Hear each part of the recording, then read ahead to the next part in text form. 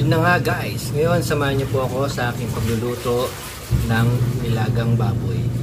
Request ni Bunso yan, ni Rich. So ngayon guys, habang naghihiwa ako ng mga gulay-gulay, uh, karne-karne, uh, kwentuhan muna tayo.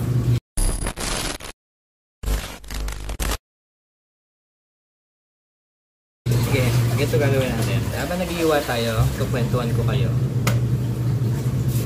So guys, uh, ang pagluluto ng nilaga or kahit anong luto, dapat mauna yung pinaka-main.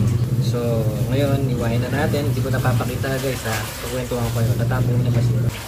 Kasi uh, hindi nyo may, tat may tatanong na uh, may experience din ako sa pagluluto. Yung mga panahon na nasa Singapore ako, uh, isa akong ano, uh, chef, sabihin na natin chef. Trabaho ko sa Singapore uh, sa isang uh, Italian restaurant. So kaya yung mga yung mga tungkol sa pagluluto eh kahit pa paano meron tayong experience yan. So yun, unang-una, make sure na malinis lahat pag nagluto. Gamit yung kailangan malinis lagi yung kamay mo. Ayan. Tapos yung kutsilyo kailangan laging matalim. Yan yung mga unang-unang ginagawa ng mga chef yan eh. pag nagpe-prepare na ng mga gamit sa kitchen. Mga mga ano kutsilyo pinapatalas muna bago.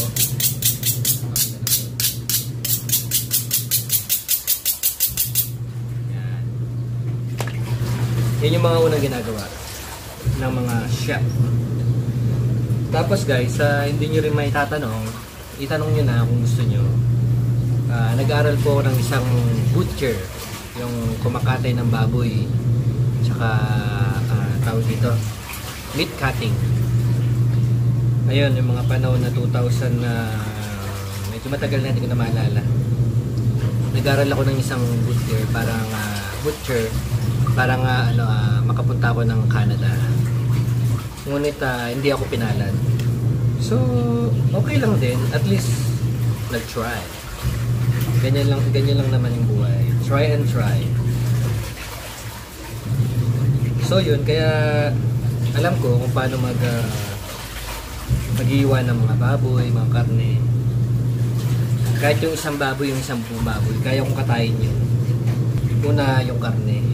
Kasi papalambutin mo muna yan So, habang pinapalambot mo siya, ang ginagawa mo naman doon is uh, ano yung prepare mo na yung ano ba? Ang ingay. Ang ingay ng wash. Pasensya na kayo ha, gumamit na lang kayo ng ano. Ulitin ko po guys, pasensya na po kayo sa aking boses. Malakas na po ito. Gumamit na lang po kayo ng earphone. Kasi may sira yung phone ko. So yun, habang kumukulo yung karne, nagiiwa naman tayo ng mga gulay. Nire-ready natin mga. So kasi ako pag nagluluto ako ng ng lunch hanggang dinner na. So dinadamihan ko na para wala nang masyadong uh, gawain pa. So ngayon guys, habang hinihintay natin kumulo yan at lumambot yung karne, mag-iwan na tayo ng mga gulay. So ulit-ulitin po natin hugasan muna natin ang kutsilyo and yung uh, chopping board. So ayun na nga gulay na tayo gulay. So ayun na paring Mark ito na challenge accepted. Pero thank you sa'yo paring Kramer. You're the man the best ka so yun nga.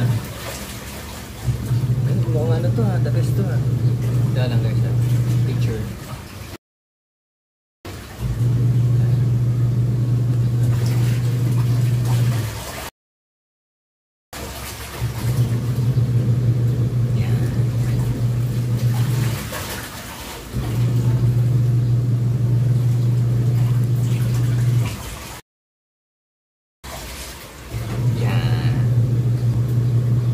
Next, ang onion. Picture.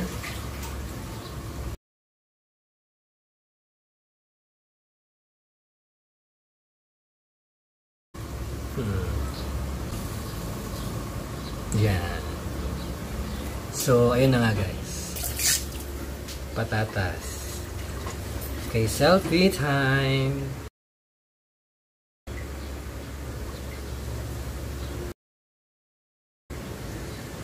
Alright.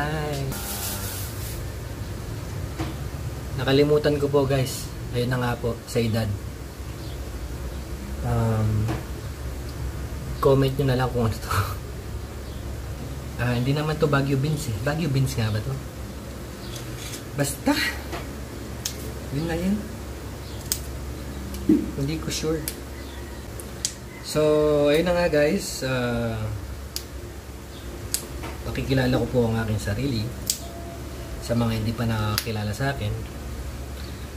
Ako po si Jonathan Richard Garcia. Sa nakilalang Richard Magat aka Koyang Carding ayan. So bakit nga ba ganon ang pangalan ko? Subaybayan. Next na natin yung you na lang wait lang guys. Hindi ako naka, napit, hindi ko na picturean to. Tatlong butil na lang. Okay.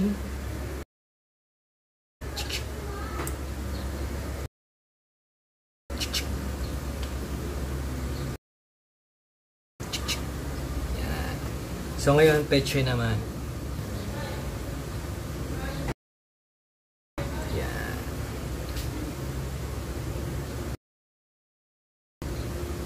Yan. Wow, Basti, good morning. Ayan na, gising na si Kuya Basti. Ayan. Hello guys, this is uh, Ruben Sebastian Simon Magat. Ayan. Mamumog ka na. Bangon niya eh. Ayun, uh, like I said guys, at least pagising nila, nakaready na yung almusal. Kaya inuna natin yung almusal kanina. So, ganyan, araw-araw. Inuuna natin yung kakainin nila pagising nila. Kasi, for example, ngayon yan, nagluluto ako, may ginagawa ako. So, at least naka-ready na yung ano, yung pagkain nila. Sana may meron po kayo natutunan, guys. Isang alimbawa na 'yon. So, charot. Sabi nga ni ni paring Kramer. Charot! Sabang nagkukwentuhan tayo kanina, ito na yung mga niready kong gulay. Ayan. So ito, i-comment nyo to kung, ano, kung ano yung pangalan na ito. Nakalimutan ko talaga hanggang ngayon. So, love and peace. So yung guys, pag nagluluto tayo, make sure yung unang tubig, palitan. Para kasi nandun yung dumi ng karne. So next, na gagawin natin,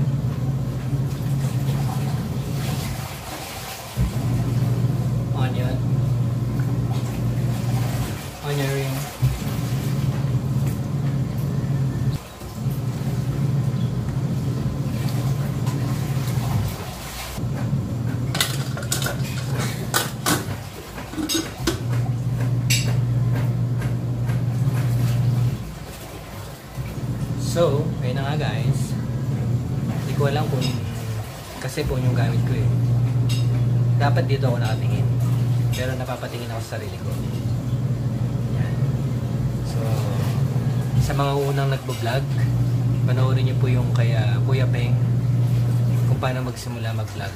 Tuturo niya po sa inyo doon kung paano mag-vlog. Kaya lang, naalala ko nga pala. Hindi ko nga pala nabanggit itong si si Webster Gonzales. Ayan, si paring Web, ang best friend ko. Sabi ko kasi sa kanya, pag nag-vlog ako, shout out ko siya. So ayun, supportan din po natin ang YouTube channel ni Web Gonzales. Uh, kasama ang ang ating mga kuya, ang higher level. Ayan. Nasa Dubai po sila. Ayan na si Web. Sila Apple, sila Kuya Felix, sila Kuya Herman, at marami pang iba. Yun. So, supportahan niyo po ang kanyang YouTube channel. Ituturo din po niya kayo sa Middle East, Asia, at ah, sobrang komedyante po niyan. Ayan, naging kagrupo ko po yan sa Maneuvers, si Web Gonzalez. Like, share, and subscribe. Tapos, lahat po ng mga nag-subscribe sa kanya, lumipat po na sa akin lahat. Ha? Charot! Salita! So, nandito ang aking mga isa sa isa sa sama mga ito. Inimikot nyo. Ano ito? Salita. Wow! oh, ano to?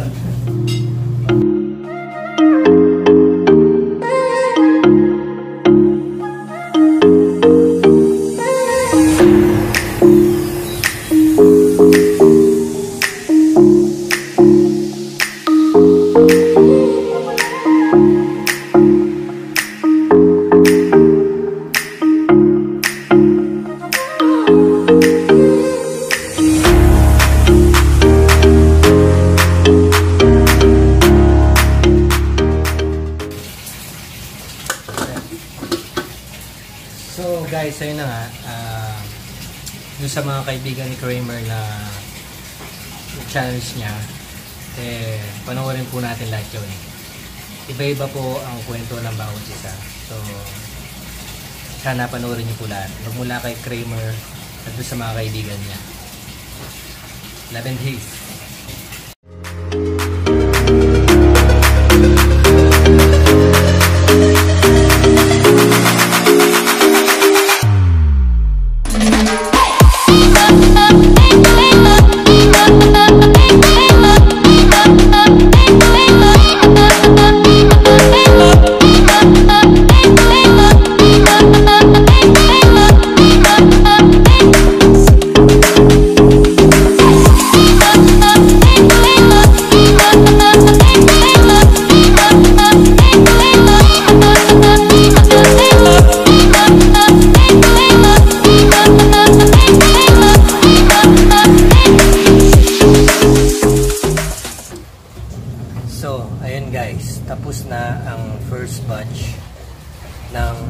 Nilalaban ko.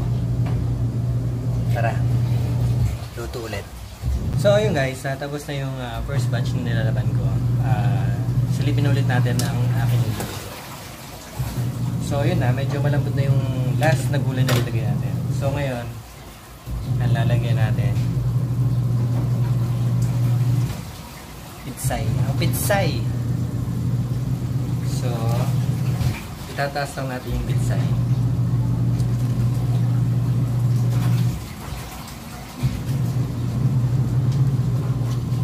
Yan. Mas masarap magulay. Mapitsay. Isa yan sa masustansyang gulay. Ang pitsay! Tapos, uh, lalagyan natin ng konting konting asin sa taas.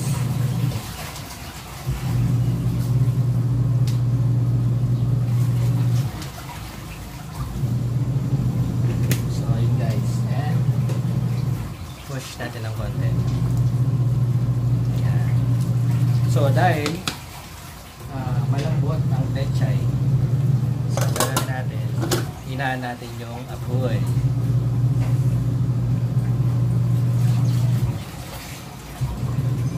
Yan, kailangan nyo apoy ganyan. So, back to you later. Ngayon guys, ay oras na 9.50. Nakapag-linis tayo sa labas, sa sala, sa kitchen, sa dirty kitchen. Nakapaglaban na rin tayo, nakapagluto na. So, marami pang oras para mag-lunch. So ngayon guys, eh, okay na. Luto na ang ating ah, nilaga. So yun, lahat uh, naka-ready na. So araw-araw ganito ang setup. Charge ko kasi naglaloban. Ayun, so patayin na natin.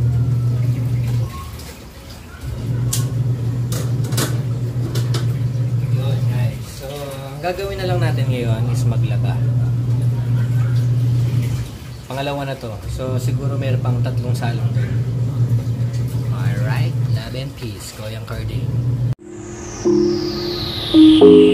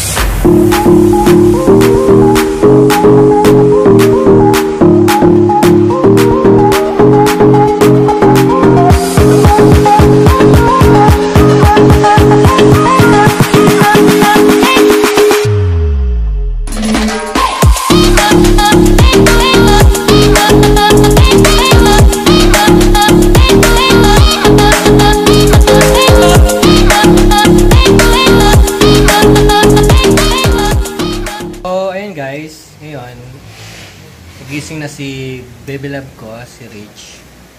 Ayan, ang aking kamukha. So, dahil ah, 11.20 na, eh, breakfast tsaka lunch na yung kinakain niya. So, syempre, ang favorite niya, siya nag-request ng nilaga. Kaya, ito na yung ulam niya ngayon. Di nga ano yung pinaka-favorite mo na ulam na lagi niluluto ni Dada? Ano yan? Nilaga. Ayun. So, ayun guys. Ayan. Breakfast. Saka lunch. Favorite namin ni Ading. Saka sinigang. So, anong masasabi mo sa kanila, Ding? Ha? Say hi to everyone. YouTube.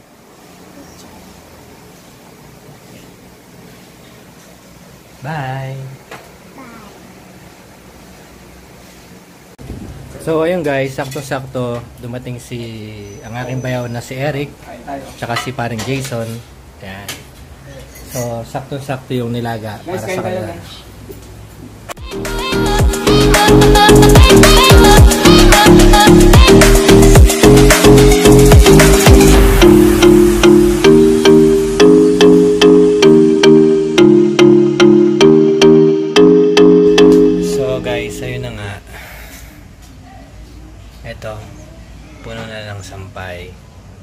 Tapos yung iba, ayan. So, yung iba guys, ay, underwear ko yun. So, yung iba guys, ah, natuyo na kanina at pinasok ko na. Ayun, um, sa palagay ko, natapos ko rin guys. So, ayun lang ang kwento. Ang kwento ni Koyang Carding. So, ulitin ko po, ah, gusto ko magpasalamat kay paring Kramer, ang ah, Zumba King ng Pilipinas. Salamat sa iyo pare. At ah, napili mo ako a challenge. And um, gusto ko lang eh, wish ko lang sa'yo pre, lagi kang maging malakas para lagi kang makapagbigay saya sa ating mga kababayan. Ayun. Tsaka, support ko yung carding kay Kramer. Yan. Ayun guys, ah, patuloy na ako mag ah, papahinga at magpapaalam na sa inyo. Dahil ang sakit na ng balagang ko ah. Ayun. So guys, thank you so much. Ah, love and peace.